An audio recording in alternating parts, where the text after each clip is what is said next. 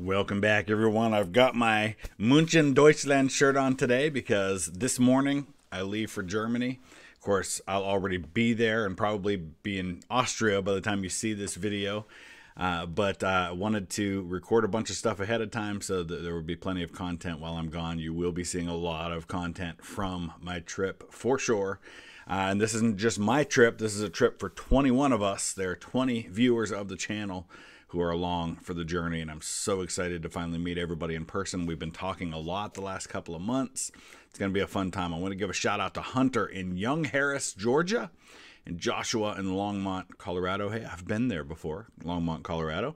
Thank you guys so much for your support on Patreon. Today we're looking at Jack Rackham again. And in my analytics, it tells me a lot of you have been watching this video uh, that came out two weeks ago called After Occupation Why Didn't Germany hold a grudge. I think it's an interesting topic to take a look at.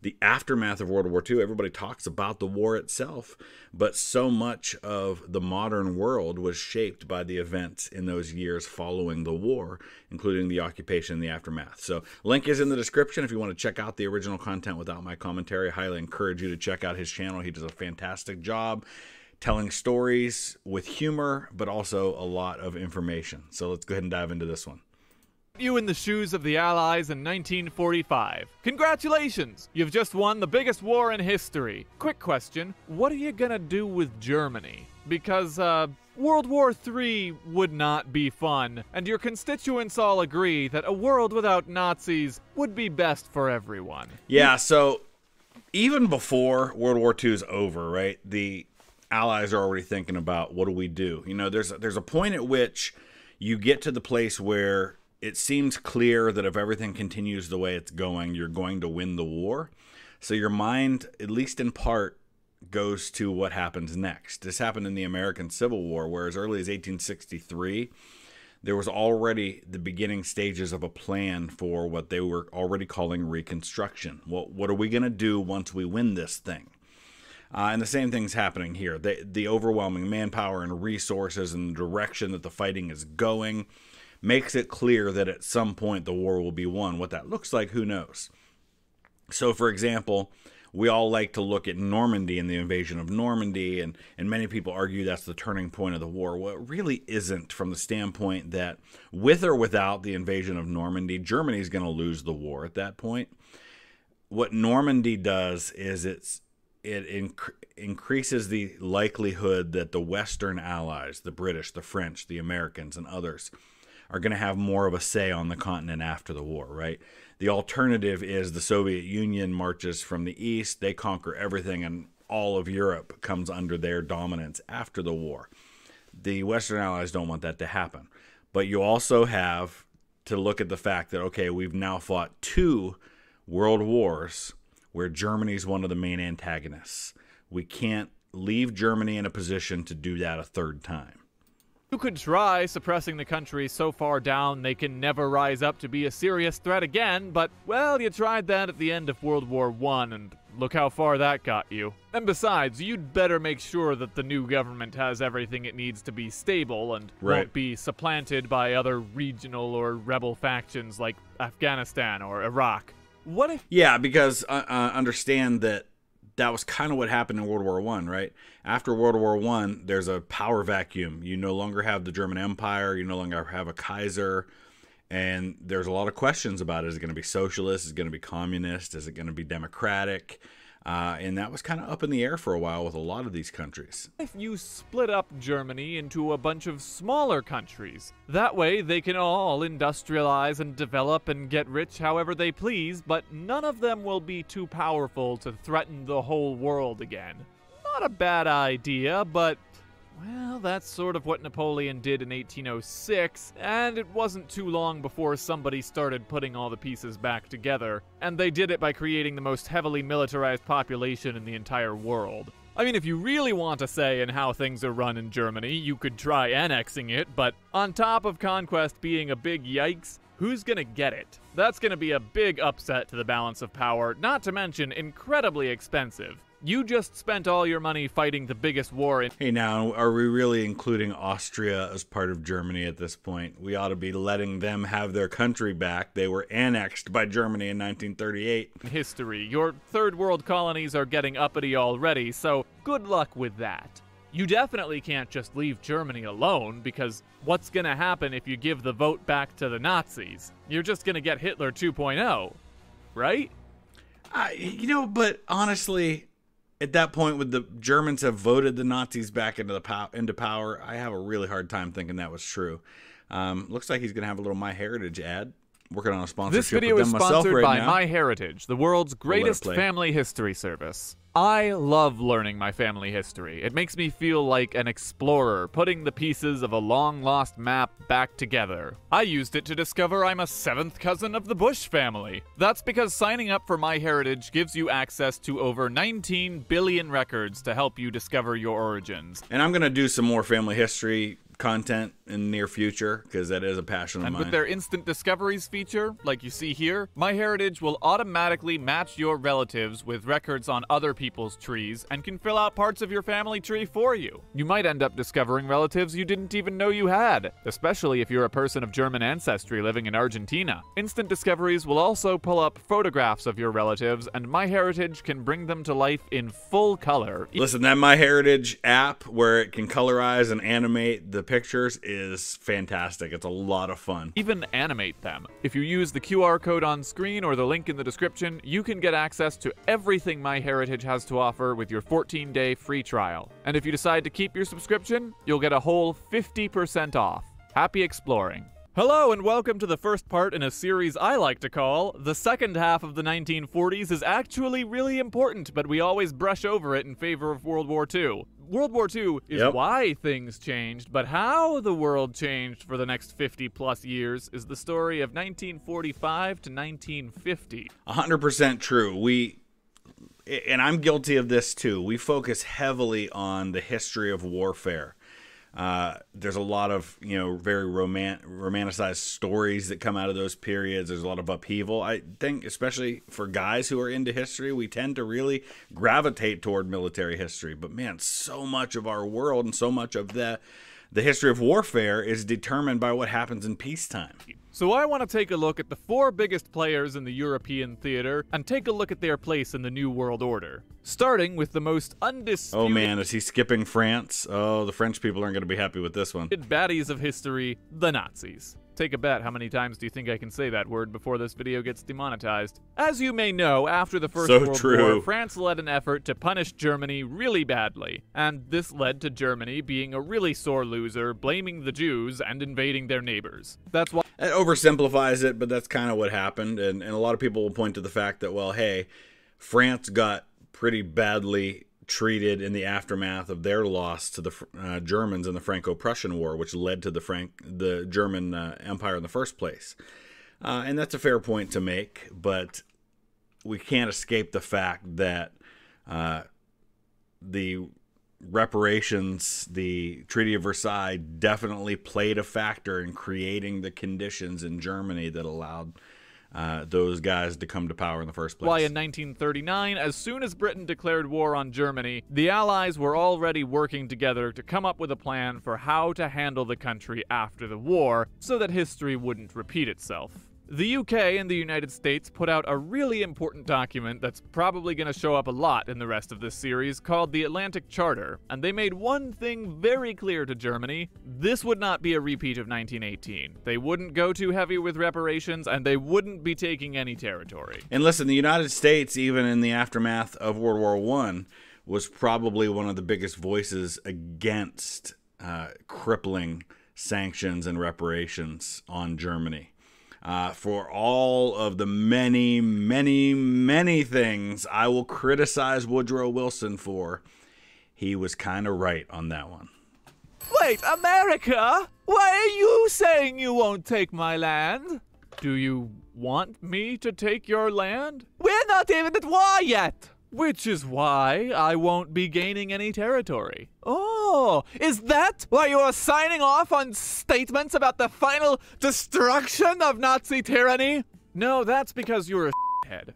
Now, once the Soviet Union joined the war against Accurate. Germany, well, working in Stalin's vision of the future was a little awkward. The Allies' whole first major conference together was a little awkward. Even working with Stalin in the first place felt like teaming up against the forces of evil with friendship, harmony, incredible violence, and love. nice skirt you got there, De Gaulle. Um, it- it's a great point, though. I mean, listen, let's acknowledge the fact that Stalin was every bit as evil as the Nazi regime in Germany was. Uh, probably responsible for killing more of his own people than the Germans were. They just killed a lot of other people's people. But um, it's a whole, I say it all the time the enemy of my enemy is my friend. And the the Soviet regime was a necessary evil to defeating Hitler. They could worry about what happened after that. After that. And then you'll open a second front in Western Europe, right?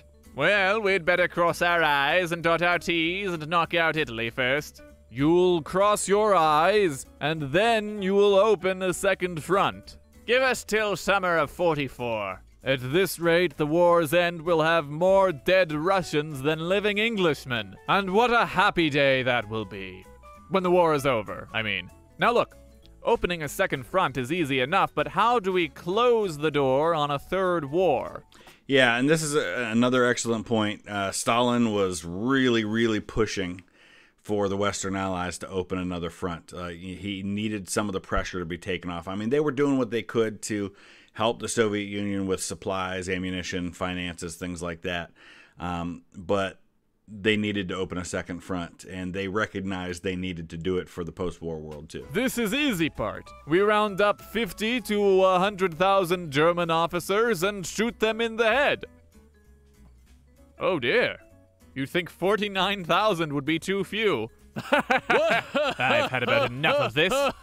I was only joking. Come back. Stalin is not a man who solves his problems with purges.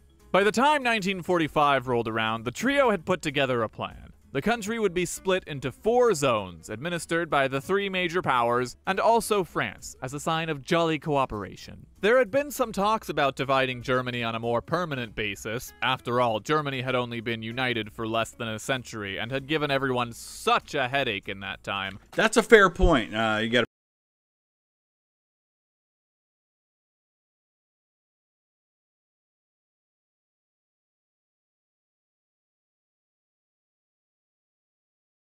felt by a lot of people to keep Germany together because it was a fairly new nation. You can see there they're dividing the south. Basically, what you got there is Bavaria, um, Austria, and maybe a little bit more there. Um, West German state, you're basically looking at uh, Alsace-Lorraine, uh, which had been fought over back and forth anyway, um, and maybe a little bit of the Sudetenland there. But ultimately, they agreed the division would only last as long. I'm talking about the Rhineland. Sudetenland is the area around Czechoslovakia that they took right here. Uh, the Rhinelands in the west. long as the occupation did. Once Berlin fell and the war was won, the challenge of winning the peace began in earnest. The occupation zones received their final borders, and the Soviet Union, who didn't really care about the Atlantic Charter, took off a chunk of the eastern border to be Poland's consolation prize. The first step was to completely uproot the German legal system. The economy was decentralized, cartels were broken up, and all the Nazi laws on the basis of race, creed, and political opinion were abolished. And there was a one of the big uh, policies was denazification, and this is where a guy like George Patton runs into problem because he's the military governor of Bavaria, which is the American zone, right? And um, and he saw this differently. He felt that some of the uh, folks that just because they had been members of the Nazi Party didn't mean they couldn't be used uh, to help kind of run things afterwards. So he kind of very quietly didn't necessarily enforce strict denazification, uh, and that got him into a lot of trouble. Then, of course, the justice and educational systems needed their own overhauls, and a new constitution would need to be drafted in order to make sure that the changes would stick. The top brass of the Nazi Party were tracked down as much as possible to be made an example of. 24 men were brought to face trial in Nuremberg for war crimes and crimes against humanity. At the same time, the US, in its portion of the country, began running campaigns showing the horrors of the Holocaust to German civilians. And this was brilliant because there were probably plenty of German civilians who were in denial about this. Now, if they had been honest with themselves, they could have probably seen enough of what had happened and what they'd probably seen with their own eyes to understand something was going on. Uh, but the full extent of it, maybe not. So this was an important part of this was to let the the German people see what their own country had done. Uh, Nuremberg also; these were some of the highest profile cases. They were hardly the only war crimes trials that were happening with Germans. Uh, and there were trials happening in places besides just by the Western Allies. The Soviets were trying a lot of people. Uh, the Poles were trying a lot of people. Eventually, Israel, when it's established as a nation, nation, will try a lot of people. And you know, Germany today has a great track record of coming to terms with its past human That's rights true. violations, unlike, well, quite a few other countries. So the occupation must have been a huge success. Except, the first couple years were pretty rough. The ini- Yeah, and let's acknowledge here too that um, I think sometimes I, have I've spoken to. We have a lot of German followers on this channel, um, and I love you guys. I, I, love Germany. Germany is one of my favorite countries in the world, um, and uh, I think sometimes I've gotten a little bit of a hint of expressions of guilt by German people and, and I just want to say this, and I think this needs to be said, is that while we can acknowledge the sins of the past, we are not responsible for the sins of our ancestors. Okay, so uh, Germans today are not responsible for what Germans did in the 1930s and 40s. We can acknowledge that and make sure that we take steps to make sure it doesn't happen again. Same thing with the United States. The United States has plenty of sins in its past. Our treatment, obviously, of enslaved people from Africa, our treatment of Native Americans, indigenous peoples, as we call them today, um, in our manifest destiny and the way that we spread. Um, our treatment of Chinese immigrants over time, and many other people, our treatment of Japanese Americans during World War II. Um, but I am not responsible for those things. My parents are not responsible for those things. We can acknowledge that it was wrong, make sure it never happens again. Initial policy of taking no steps to rehabilitate Germany led to intense food shortages, and it wasn't until a report from Herbert Hoover, of all people, and a change in leadership that things began to improve. Listen, Herbert Hoover his presidency is not fondly remembered. Obviously, the Great Depression breaks out during his presidency, um, but he was a brilliant economic mind. Uh, he had been Secretary of Commerce uh, at one time, and that did not mean he didn't have something to offer the country and the world. And yet, when you look at all the surveys of public opinion that the US ran, things didn't seem to be moving in the right direction. Right after the Nuremberg trials, about 6% of Germans said that they were unfair. By 1950, that number was about 33%. Wow. And 37% of Germans answered that the extermination of other races was necessary for the security of Germans. Although, in fairness, that one had been phrased weirdly. In 1945, 59% believed that Nazism wasn't a bad idea, and in 1947, that number had risen to 70%. 42% of Germans wanted a new Fuhrer. Meanwhile, the Allies are totally swamped trying to process the millions of Germans who were part of the Nazi Party to determine who the true radicals are to keep them out of power. That's, I mean, when you're dealing with that, I didn't realize it was that high. That's crazy. Uh, and I will say this too that um, there was also another challenge in that uh, in the aftermath of the war, there were hundreds of thousands, if not millions, of Germans who fled the country, and many of them faced reprisals. Czechoslovakia is a great example of that. You had Germans living in Czechoslovakia, civilians, who were murdered in the thousands uh, in reprisals for what had been done to the Czech people, for example. Imagine having to run a background check on everyone in the country. And imagine trying to do that while pressure is mounting from back home. The war is over. Bring our soldiers back home. We can't take on any more debt. So, for the sake of efficiency, the process became increasingly lax as time went on. Laws about fraternizing with civilians were lifted, German citizens were trained to run the background checks on their neighbors, the whole process was subject to corruption. Hmm. There were these certificates that said you might have been part of Nazi society, but in your heart of hearts, you weren't really a bad guy.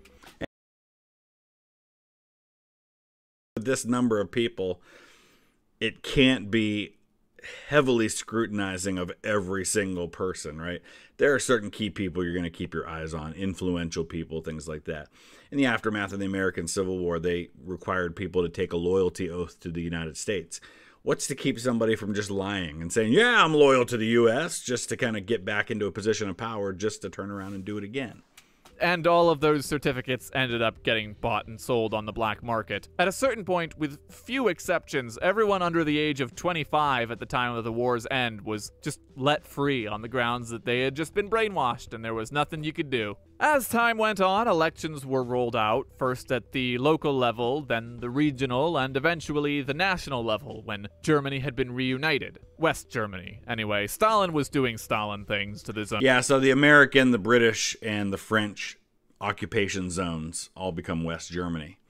He'd occupied. A man named Konrad Adenauer was elected chancellor and called for an end to the denazification process. Of course, the US recognized that the project was not going so well. It was counterproductive and ineffective, hmm. so they were willing to let it go. But all the same, hey bro, stop picking on the Nazis so hard, is a little scary to hear coming from a German chancellor. And yet, plot twist number two, progress continued? The Adenauer government, which lasted 14 years, they were the ones who started giving out reparations of their own volition. And with time, the opinions on the Third Reich began to shift again. And that stability was super important. Having the same government in power for 14 years in the aftermath of that war, uh, hugely important for that to take place.